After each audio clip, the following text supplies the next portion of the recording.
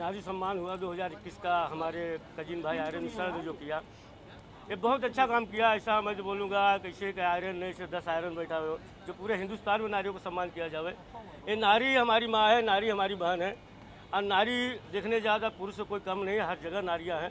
तो नारी को सम्मान देना बहुत बड़ी बात है। हम तो बोलेंगे हमारे कजिन भाई को कि पहले तो दिल्ली में सम्मान देते थे, हरियाणा में दिए।